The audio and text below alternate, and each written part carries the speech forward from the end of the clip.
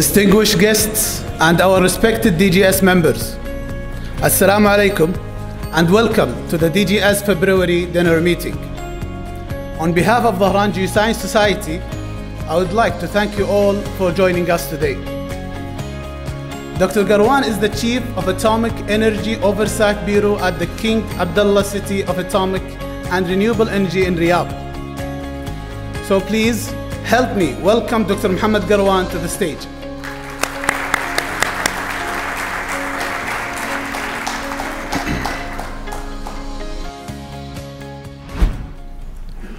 بسم الله الرحمن الرحيم الحمد لله رب العالمين والصلاة والسلام على رسوله الأمين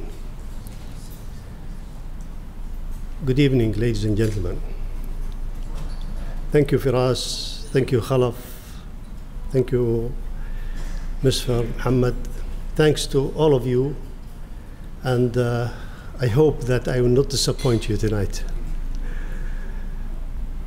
The title of this talk is What Does It Take to Introduce Nuclear Power for the First Time?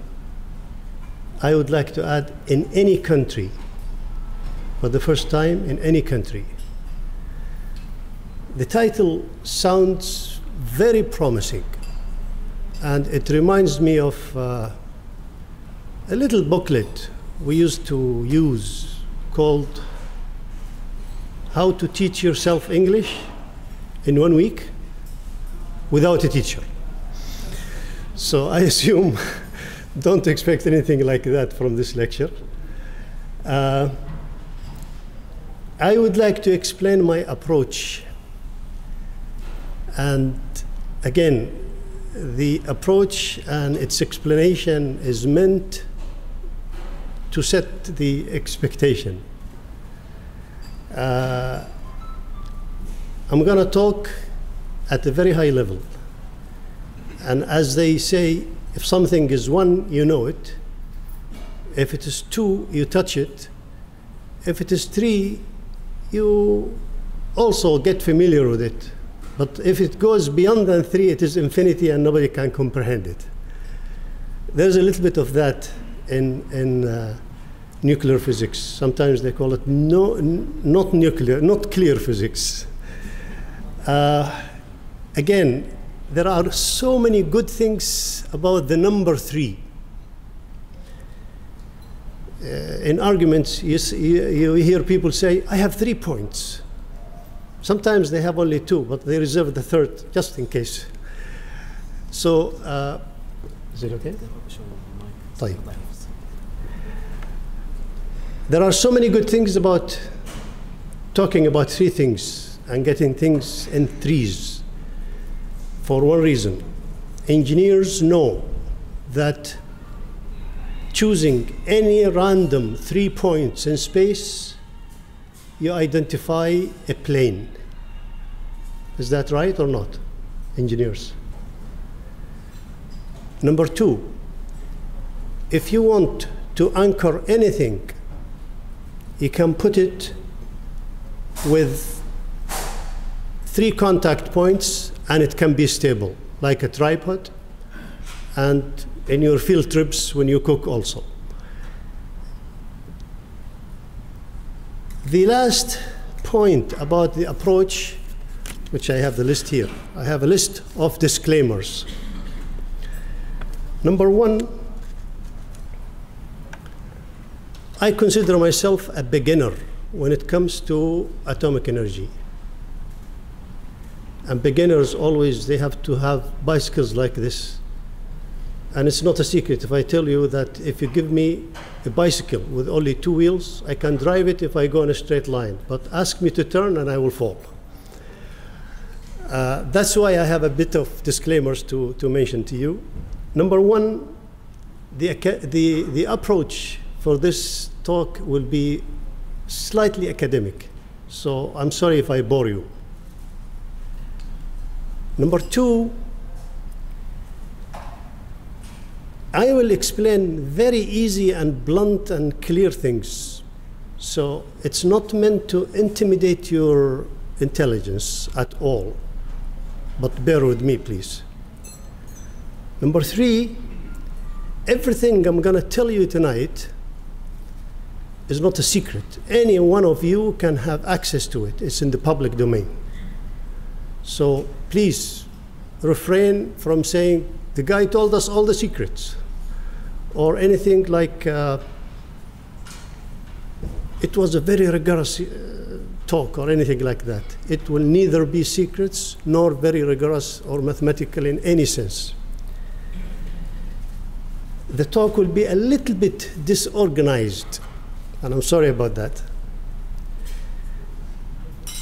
There will be some unclear points, there will be some incomplete points, and finally, please do not call it contradiction if you hear two pieces of information that do not match. It's because they come from different sources or because of doing the same thing in a different way. Now, with all of these disclaimers, I will move on. The agenda. Again, I will keep the number three until the end. so we have three aspects to talk about. We have three questions to answer. And there are three phases that any country want, that want to get into nuclear energy has to pass through. Each phase ends in a milestone, so we have three milestones. And there are three major organizations that have to exist in any country serious about nuclear power. And there are so many other threes. When we talk about all of these sets of three things, please bear with me. As I told you, it'll be disorganized talk, and we'll talk about all of them together at the same time. Let's start. The first set of your threes is heat, steam, and electricity. You have a power station. Easy. Now, if you change the source of heat and use a new thing called a nuclear reactor, some people in the early days they used to call nuclear reactors atomic smashers or something to that effect. So it is a tool that breaks the atom or breaks the nucleus and generate energy out of it mostly in the form of heat, and the heat vaporizes water, generates steam, steam generates electricity. Sorry, explaining the obvious. It is another power station that has atomic energy. Is it atomic or nuclear, by the way? Sometimes we get into Byzantine or Byzantic type of uh, discussion on which one is correct. Is it atomic or, or uh, nuclear? Scientifically, it is nuclear. Colloquially, politically, by use, it is atomic. So when from far away, when you talk about atomic energy, we're talking about nuclear reactors, so it is the same. It is energy coming from the nucleus of the atom. And we can generate energy from the nucleus of the atom in two ways either fusing atoms together, two nuclei, we put them together and we get energy, or break an atom, break a nucleus. The last is called nuclear fission. The first is called nuclear fusion. Fission happens to heavy elements, fusion happens to light elements. The sun is fueled on fusion.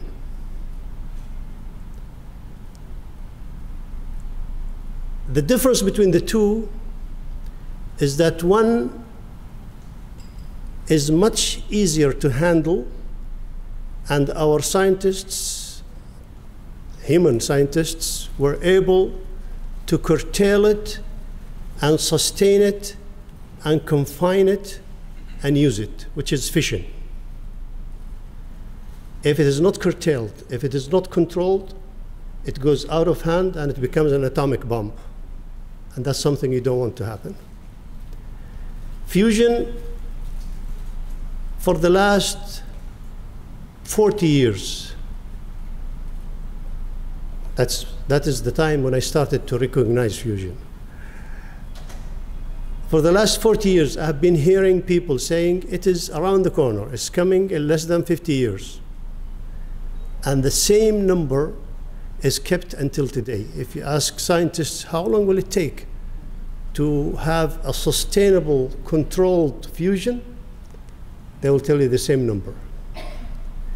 It is like how long will oil last? Aramco kept telling us, you have another 50 years, don't worry. And they keep saying it. And through discoveries, like the one that took place last week, we kept pushing the limits to more than 50 years. So we have a similar case here. Let's continue. Now, in order to have fission, you have to have fissile material or fissionable material. Again, they are the same, but with slightly small difference. Fissionable material, every fissionable material is a fissile material.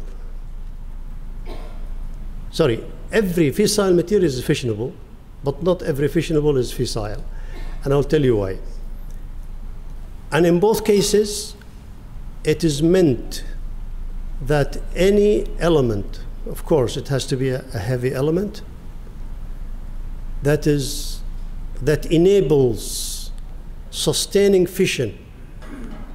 Sustaining fission means creating the fission, keep it going without it going out of hand. That is fissionable material. It is uranium and thorium. These are the only two fissionable material that comes to mind, and these are the only two materials that are considered nuclear material in the political and the scientific sense. And I'll tell you later why political.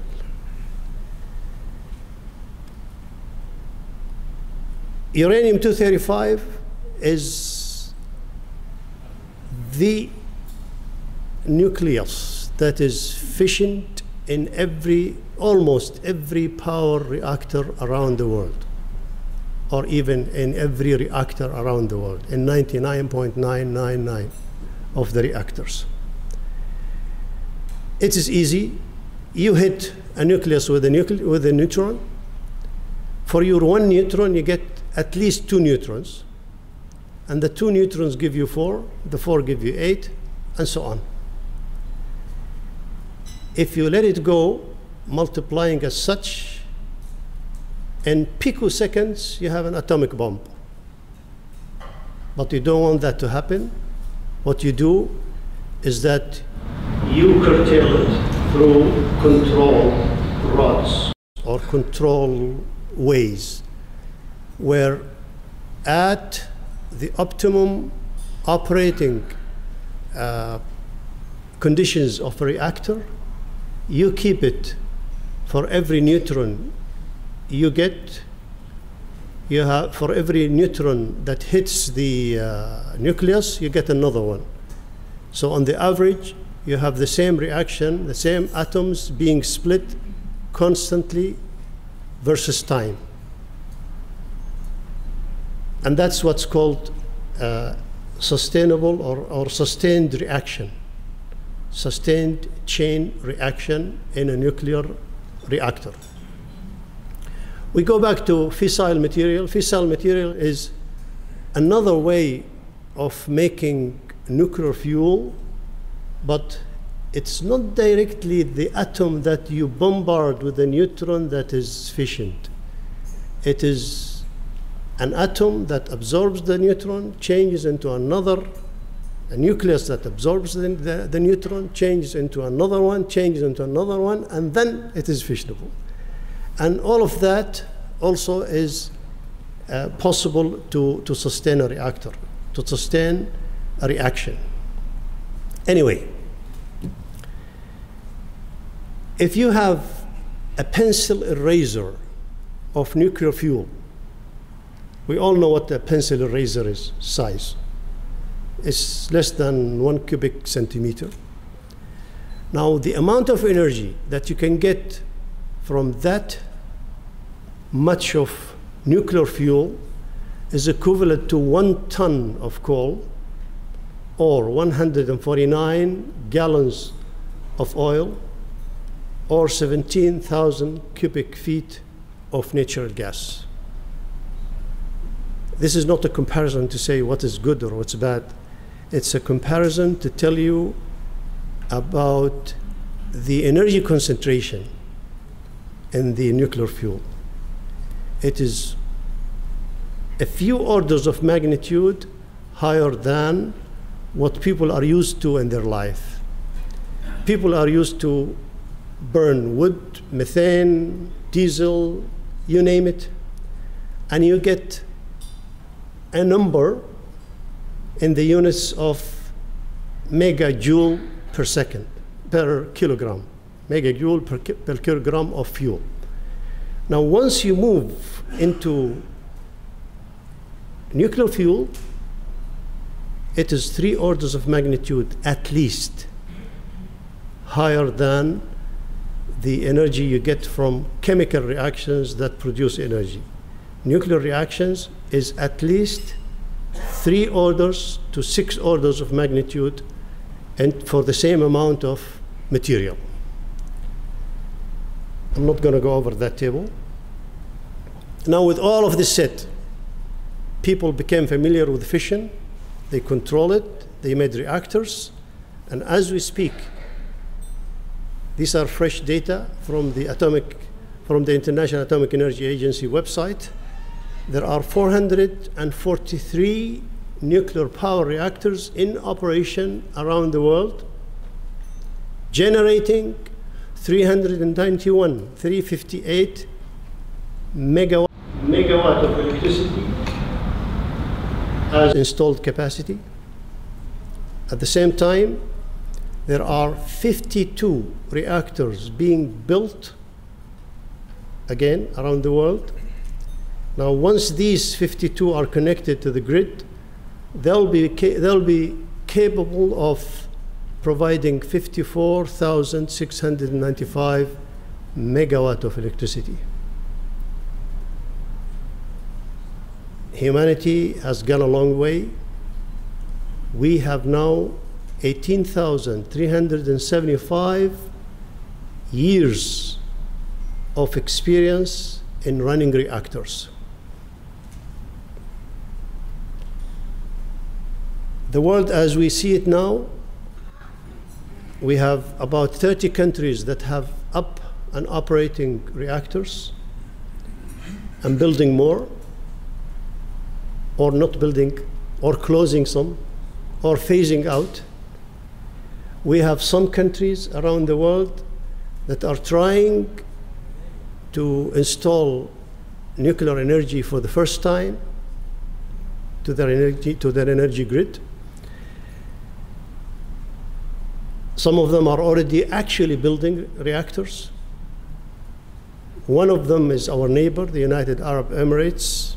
Last week, or the week before actually, they received the first license to operate a reactor. So they are getting the license to actually bring fuel into the reactor and start commissioning it. And so on. There are always, at all the time, a number of 60 plus or minus 10 countries claiming to be planning for atomic energy, for nuclear energy. But only a few succeed. Not everybody succeeds. Again, with all of what I said, nuclear power industry is the most sensitive industry on earth it is the most observed You cannot do, you cannot build a reactor without everybody, everybody knows about it. It is the most documented.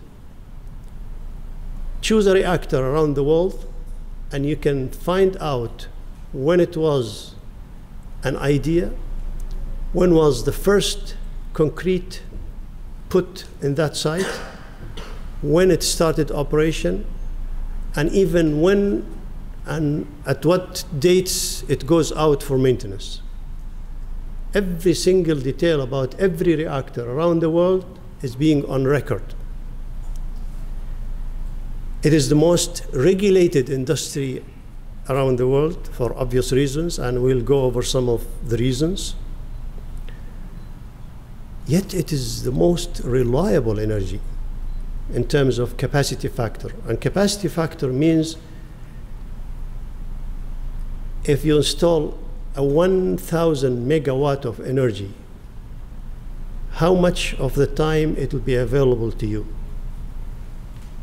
No energy can be provided for 100% of the time, 27, 20, 24 hours, seven days a week, around the clock.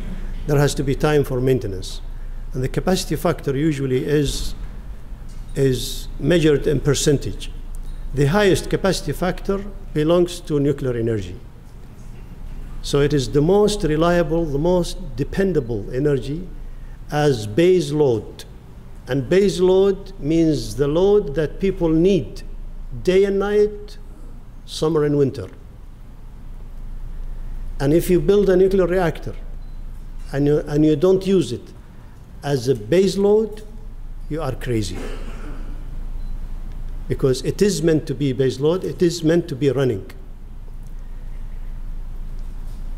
One more point among the most things is that it is the cost of energy coming from nuclear power is the most predictable cost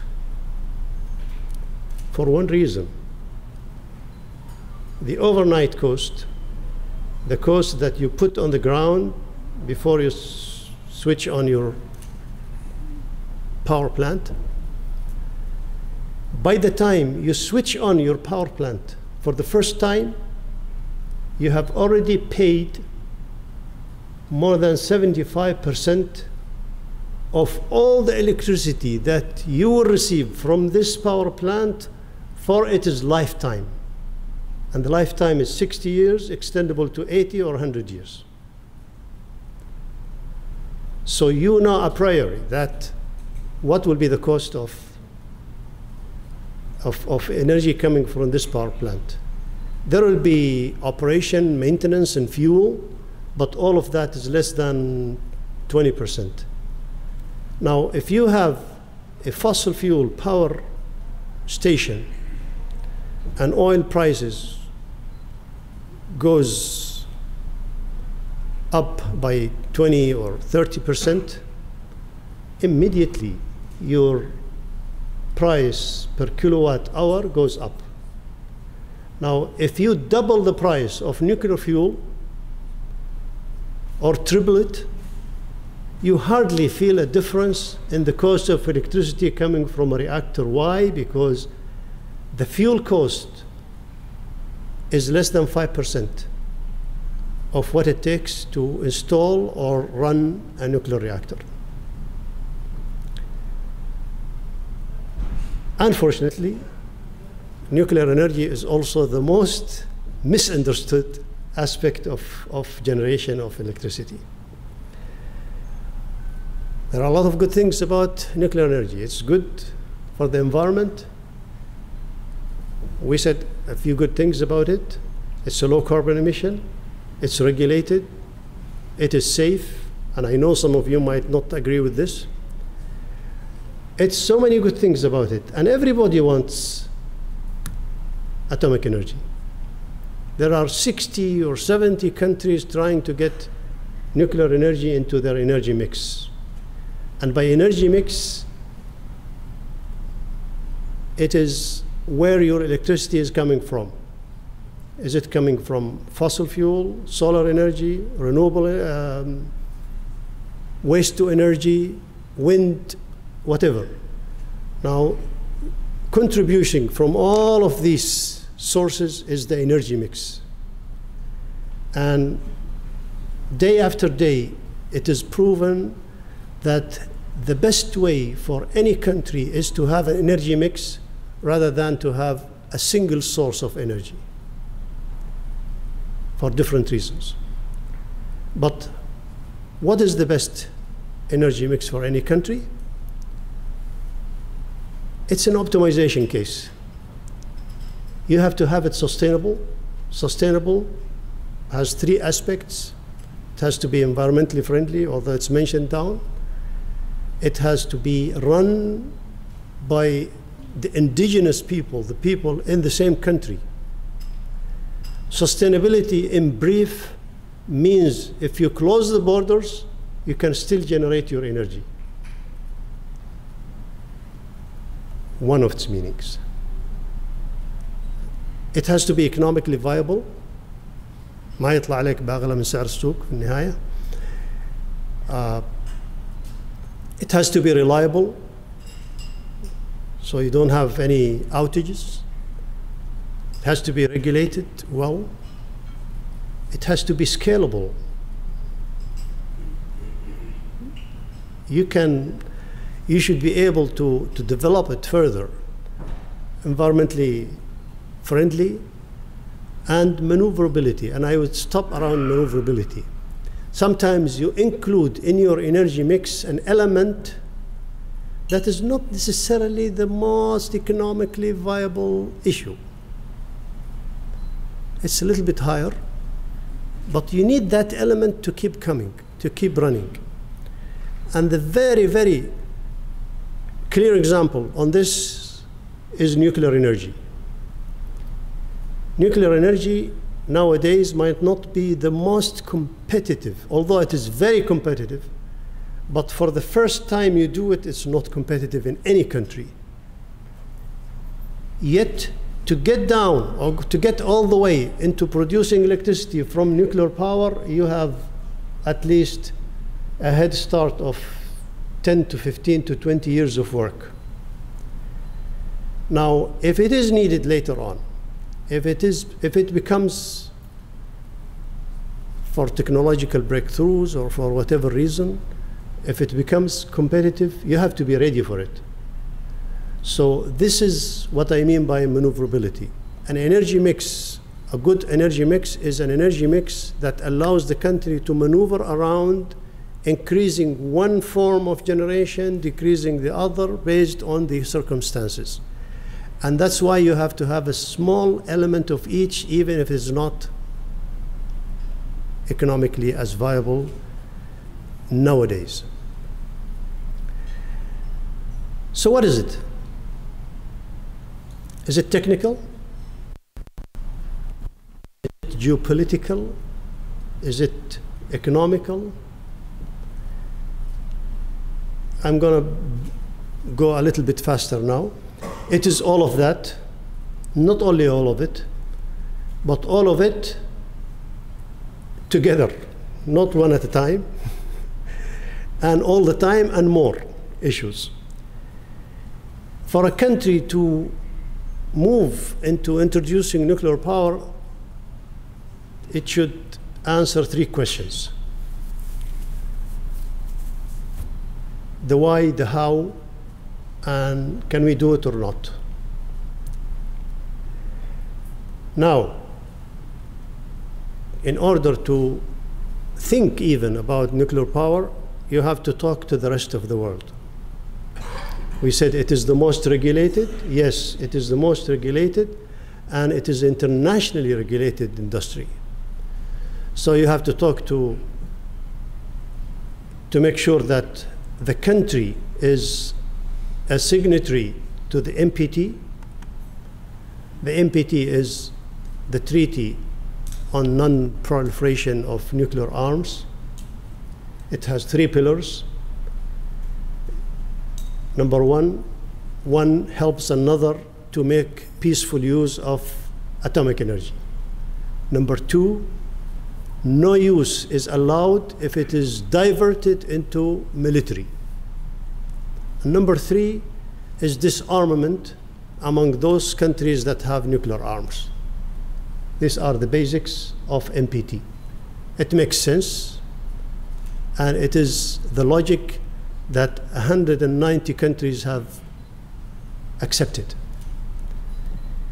There are only five countries that are non signatory to the NPT, India, Pakistan, Israel. And North Korea was a signatory but withdrew from that. And the fifth country is south of Sudan. They probably didn't just have the time to sign it, otherwise, they are fine. This is NPT. It is the regime, it is the international regime of atomic energy. And it's looked after by the International Atomic Energy Agency. The International Atomic Energy Agency is headquartered in Vienna, Austria, among many other organizations in this place, which is the UN site for, for, for uh, atomic energy and other, other uh, organizations. And there are a few things that you have to write. If you want to get a credit card, the banker will tell you, okay, yeah, I have a few papers to sign. So here are the few things that you have to sign to make sure that people understand you and you understand people. You have to talk to the IAEA and sign the Comprehensive Safeguards Agreement, which is by virtue of being a signatory to the NPT, you have to do that. If you don't do that, as if you, you are not, you have to sign a few multilateral conventions some on safety, some on security, some on civil liability, some on seeking help and giving help in case of an emergency, some on early notification, you name it. I'm not going to go all, all over that. Now, even if you sign all of these, you are not done yet. You have to have enough bilateral agreements. And enough varies from one country to another. Nuclear industry, because it is regulated, you cannot buy a thermometer or a thermocouple or any gadget that is nuclear grade or will be used in a nuclear facility from any country unless you have a bilateral agreement with that country enabling you and that country to talk together and agree on principles on how to use those things. This is as simple as I can make it.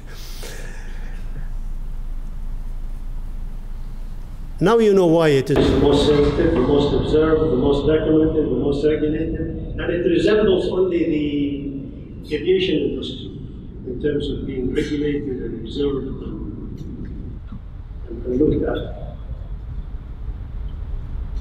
Now, because of that, and because of the very prolific information gathered from around the world in the hands of the International Atomic Energy Agency, they came up with something called the milestone approach of introducing nuclear power for the first time in any country. It is a highway, it is very clear, it is very well documented, God help you if you want to go through that way. It is, as promised, three phases, three milestones, three, three, three. Everything is three slow. Now, if you really, if you're really serious about introducing nuclear power in your country, you have to work a few things. And actually more than a few, 19 things. They call them the nuclear infrastructure issues.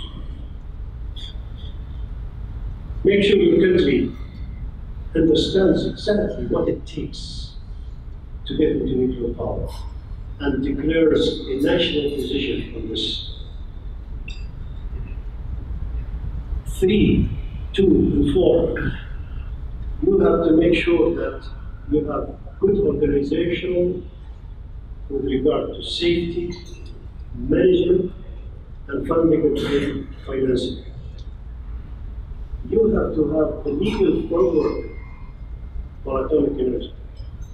You remember the bilateral, the multilateral agreements that I mentioned, global group, so and so. Now, if there are lawyers here, they will tell you that if a country signs a convention, the obligations emanating from that convention become the law of the country.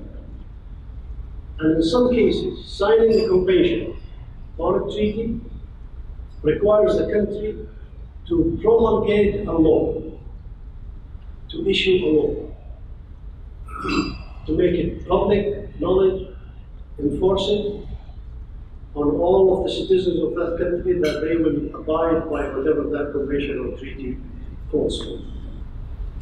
That's the legal framework. You have to go and make sure your infrastructure is ready, and you have to have big project management muscles in order to bring nuclear projects into a successful uh, finish. The road is clear. It's well documented. It's well known. It starts by thinking and announcing that we would like and we need nuclear power all the way down into connecting your first power reactor to the grid. Phase one and phase two, I would call them pre-project. The phase one is an assessment which implies feasibility study, feasibility not only from the financial point of view, but from the human capacity point of view, from so many ways and things. If you are a small country and your grid size is less than 10 gigawatt, you cannot have nuclear power because if a nuclear power, single nuclear power is more than 5% of the grid load, it's not advisable to have nuclear power. If it goes out, immediately 5% of the power goes up or more. And so on. If you are a small country, again, you have to think twice about introducing nuclear power. The first milestone is to make sure that it is feasible and suitable for you. And the second phase is the preparatory work. You remember the 19 issues? You start working on them from phase one and phase two and phase three and beyond. Those are 19 issues. They are not 19 steps. They are not sequential. They are parallel. And each of them has a requirement for every phase. Finally, the third phase is after signing the contract, you start building the reactor. And if the reactor finishes, you commission it and you connect it to the grid. And that is what's about to happen in United Arab Emirates. United Arab Emirates started in 2008, 2009, and now we are in 2020.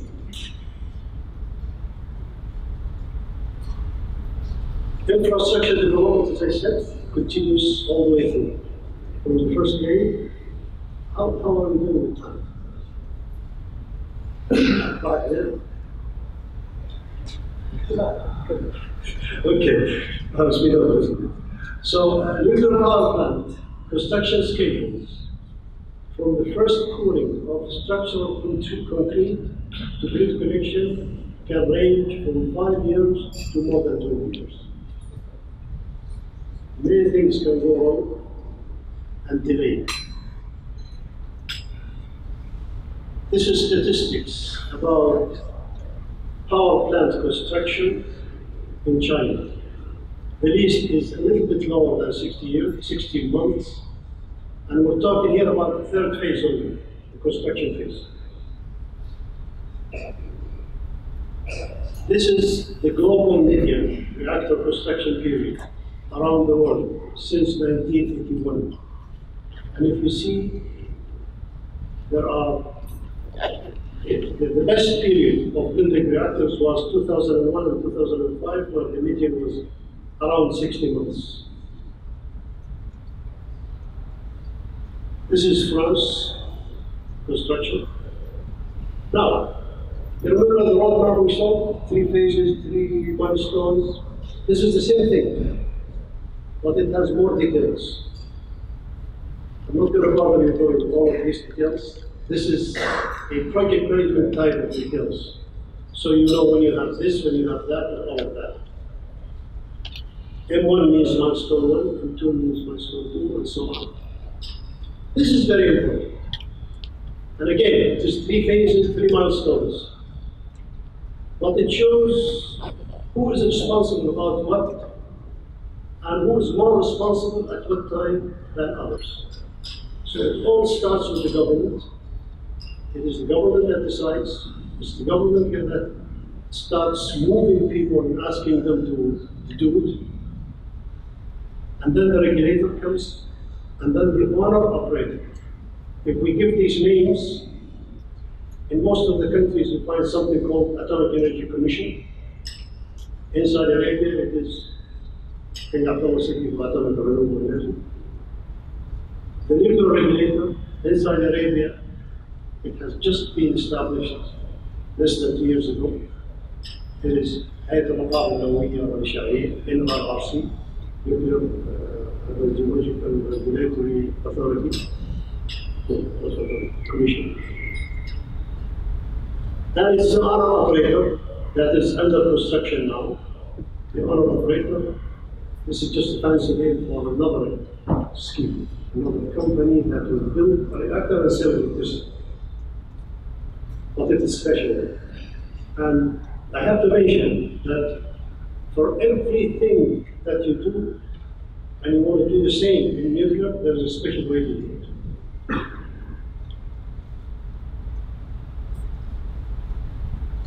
IAEA, the International Atomic Energy Agency, provides help and guidance to the countries by virtue of the NPT, by virtue of its responsibility. And among the help they provide is missions. Those from academia, you know about ABET certification, ABET accreditation. It is similar. You do your self-assessment, ask some consultants or experts from the IAEA to come and, and visit you and vet whatever you have prepared for them the way of, of self-evaluation. Uh, among the most important is the INIR mission. It is called the Integrated Nuclear Infrastructure Review Mission. We went through a review to an INIR mission in July 2018 there are so many other missions. Some are regulated, some are checking the operator, some are checking, checking safety, some are checking security, some are checking emergency preparedness. These missions are necessary but not sufficient. Do we have the missions here? Necessary but not sufficient. Anyway, something you have to do because it is a way of telling, of telling you something about yourself, but they are not audit. They don't endorse, they don't certify, nor verify, they don't confirm effectiveness. They just come up at the end with recommendations, suggestions, and identify good practice. If you're doing something for the first time that nobody has done and it's good for others to know about, they make it public. And they give you credit for it. Out of such exercises and missions, all of them collectively, every country goes and works on something called integrated work plan. It is the mitigation and the bridging of all identified gaps to make sure that every recommendation is taken care of, every suggestion is looked at. The IAEA does not enforce itself on any member state, on any country. You can tell them, bye, I don't want to see you. And are, you're not going to see them. But it is of help to, to go through these missions. Saudi Arabia, as I said, in I think July 2018, we received a mission, the Integrated Nuclear Infrastructure Mission.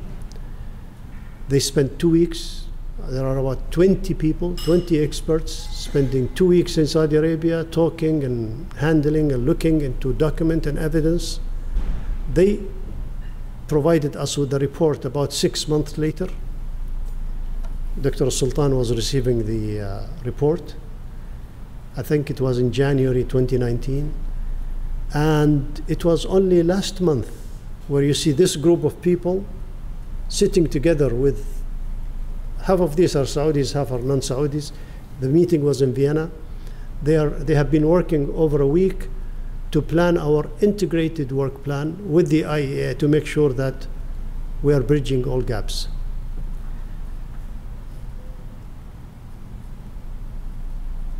In any major project, things can go wrong. And the probability of anything going wrong is proportional to the to the complications, to the to how, how complicated your project is. In the development phase, things can go wrong. In the construction phase, in the operation phase, and even in the decommissioning phase, things can go wrong. Things can go wrong from the technical point of view, from the business point of view, or from the socio-economic point of view. There are very two clear examples nowadays of how things can go wrong, how budget and time overrun can happen, one example is in Finland, a reactor that should have been commissioned five years ago is still under construction. This is, this is in terms of time. The cost of that reactor went up from less than 4 billion euros into close to 9 billion euros. euros. A similar case is in France also, and so many other examples elsewhere.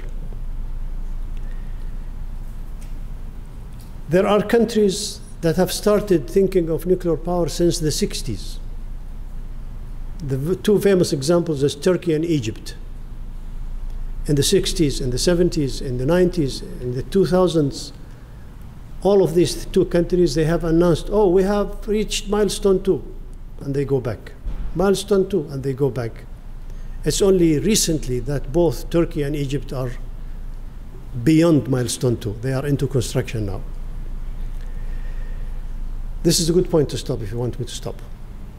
Thank you.